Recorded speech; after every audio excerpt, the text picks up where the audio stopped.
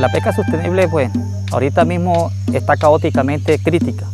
¿Cuál es nuestra preocupación? La preocupación de nosotros es de recuperar, de hacer un repoblamiento de los peces anteriormente que se hayan desaparecido.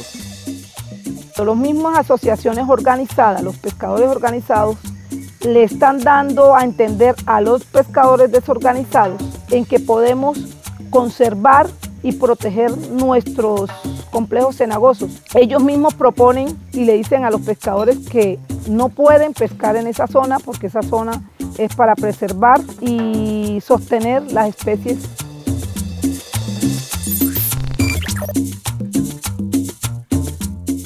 con los patios productivos, las personas van a producir diferentes clases de, hortalizas. Estamos implementando la cosecha de agua, que es retener el agua cuando hay temporadas de lluvia. Eh, podemos eh, ayudar mucho en nuestros hogares. Lo veo como, como algo sostenible. Y aparte de eso, pues también les puedo enseñar a mis hijos de, de crear empresa en tu propia casa. Este proyecto de restauración ha sido escoger sitios que están deforestados y volverlos a restaurar. Entonces lo otro está lo que estamos recuperando todas esas, todas esas especies eh, que son de, de las zonas para poder restaurar y recuperar lo que ya se está perdiendo.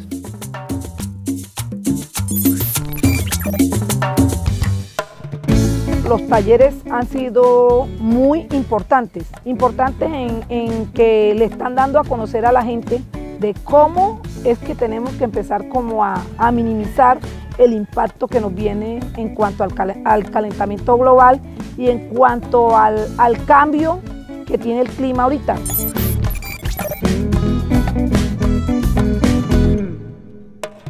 Gracias al trabajo que se ha venido haciendo entonces ha mejorado la, calidad del agua, eh, el ganado está mejor porque hay, más, tienen árboles, tienen sombrío.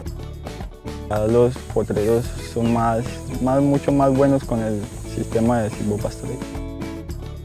Tenemos que hacer una inversión grandecita, pero vamos a recoger algo productivo para la finca. El inicio del Grupo Guarda Ciénaga fue conformado para proteger pues nuestro ecosistema que tenemos acá como el complejo cenagoso del sapo. Vamos a tocarle la puerta a los mineros, ya los mineros nos han comprado plántulas. Yo les digo, bueno, ustedes tumban un árbol, siembren 100. Del proyecto estoy muy enamorada del vivero. Hemos aprendido cómo se maneja las matas, cómo se siembra, cómo hacemos el abono. Empezamos a trabajar desde el 2015 con las entidades TNC, Biodiversa, Corantioquia. Nos han brindado pues, la oportunidad para nosotros aprender más en esta comunidad. Es muy importante estos programas para proteger y conservar nuestros ecosistemas. Una de las importancias es rescatar el agua, agua que se ha internado, ya hay, hay partes de, de, de repoblamientos o de siembras, que se han hecho en unos lugares y el agua volvió a aparecer, que eso es de suma importancia. La ciénaga ha sido declarada área protegida. Eso es lo que más nos ha... Pues lo que yo tengo así como algo, lo mejor que me ha pasado. Porque después de eso nos han llegado proyectos, varios